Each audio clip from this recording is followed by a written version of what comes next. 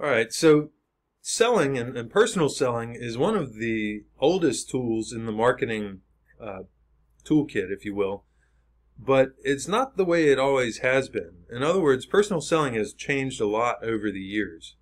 And part of that is the philosophy of marketing has changed from make the sale and move on to more of a relationship focus. But another reason personal selling has changed dramatically is because of technology. So, how has technology affected personal selling? Well, for one, we can now automate customer service. While some of us find it frustrating, it does save a lot of time for companies and salespeople to have automated call support as well as chatbots and all these other things that make it possible now for us to uh, provide customer service without using a person's time. All right. Another key influence from technology on personal selling is what we call automatic reorders.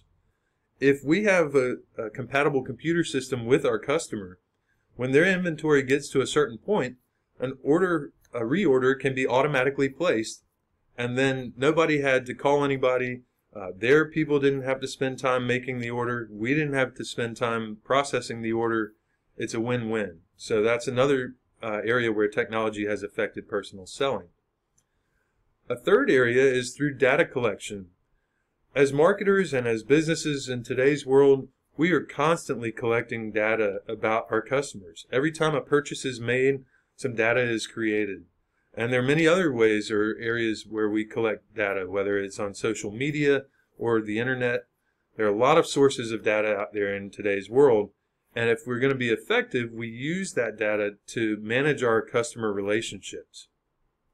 Next, we have communication.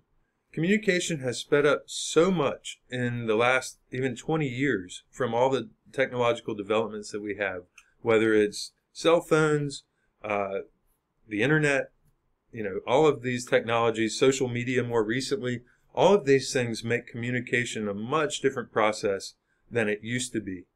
Many years back, personal selling was about door to door salespeople coming to each individual house or uh, business, knocking on the door, and trying to make a sale.